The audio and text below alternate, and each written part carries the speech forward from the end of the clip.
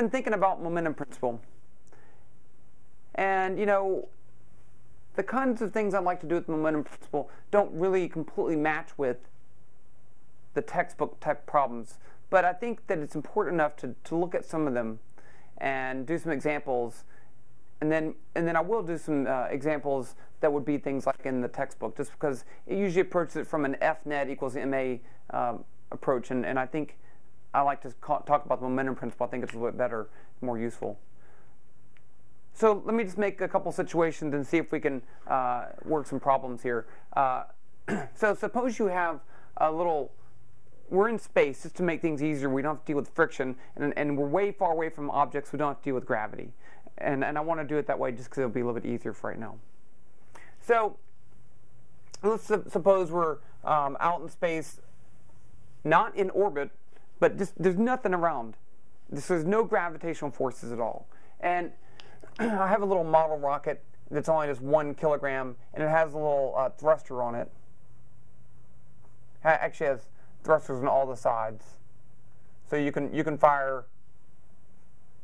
You can make it move around. Actually, they, they do have these uh, kinds of things they want to use in the space station, which has some issues with it. It looks just like there's no gravity, even though there is, and and so you can go, psh, psh, and it can move around. Okay.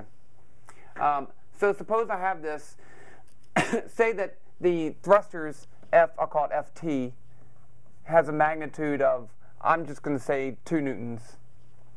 Just going to say that. Made it up. Okay.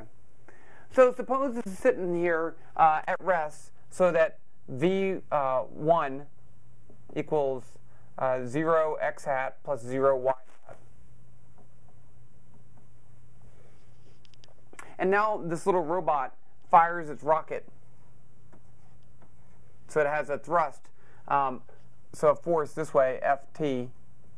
Let's call this the x, y direction. And let's say it does this for um, two seconds. I just completely making up stuff. I didn't want to use all ones, so I picked a two. But I used a two up there too, so oh well. Okay, so let's find out how fast it's going after two seconds and then we'll find out where it is. And then we'll do, we'll do something else. So the momentum principle says this. F net is the change in momentum over the change in time. Okay, so I know F net in this case is going to be just the thrust, which is going to be, um, it's pushing that way, so 2 x hat newtons. You, you really need units. And the change momentum, I know the initial momentum, and I want to find the final momentum. So I can write this as 2 newtons x hat equals the final momentum mv2 minus m v1 all over the change in time. Remember, change momentum is always final minus initial. That's how we find the change. And there's my net force. I should have left it Ft, but I didn't. And momentum is mass and velocity. So I want to solve for v, V2. So let's first multiply by delta T. Um, let me just write Ft, F thrust.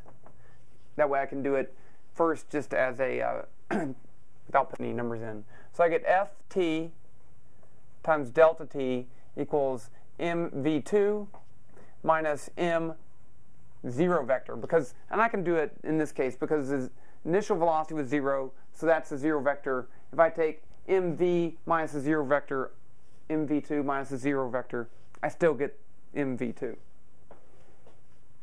So now I can solve for v2. You have to be careful when you're doing dealing with vector equations. You can multiply vectors by scalars. You can add vectors together. You can divide the same as multiply. Okay, but I can't divide by a vector. You can't do that. It's not doesn't follow the same rules. So, but if I divide both sides by m, I get v2 equals ft delta t over m.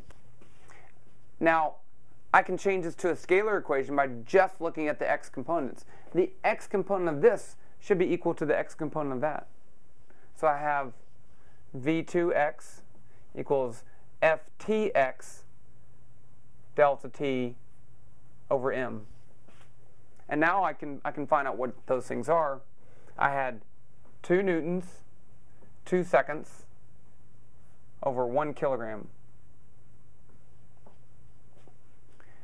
And so that's going to be uh, 4 newton seconds per kilogram, which is 4 meters per second. Because 1 newton is a kilogram meter per second squared. so multiply by seconds, I get meters per second times kilogram. I divide by kilograms, I get meters per second.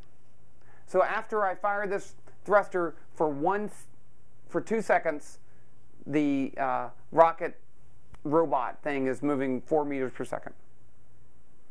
The, the problem would be exactly the same if it was already moving at two meters per second. I would have found the change in velocity is four meters per second, so it'd actually be moving six meters per second. Okay, now, if it started at x equals zero, it started at the origin,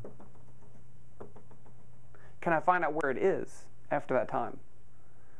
Now here, I can use the following idea. I can say v average in the x direction, we only have x direction here, is delta x over delta t. That's true if my velocity is changing at a constant rate, meaning I have constant forces, then that's true. Or if the, if the velocity is constant. Or if I, I can approximate it if the time interval is really small. So it is true here. I can use that. So the average velocity in this case is just going to be 4 meters per second plus 0 meters per second over 2. 2 meters per second.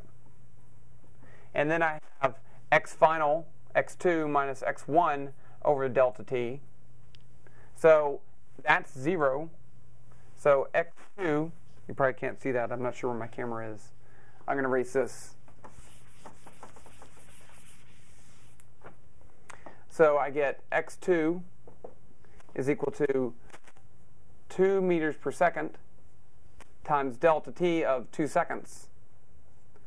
So that's going to be 4 meters. So it, it started at x equals 0 and it ends up at 4 meters. Maybe this is a bad idea uh, because it ends up at 4 meters and its final velocity is 4 meters per second. Um, but those aren't necessarily related.